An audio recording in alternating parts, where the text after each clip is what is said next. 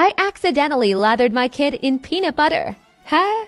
My wife had a nerdy nuts jar on her nightstand and I assumed it was body butter. Very, very wrong. So now my wife is ticked her bedtime peanut butter is gone and my son is fully moisturized in birthday cake peanut butter.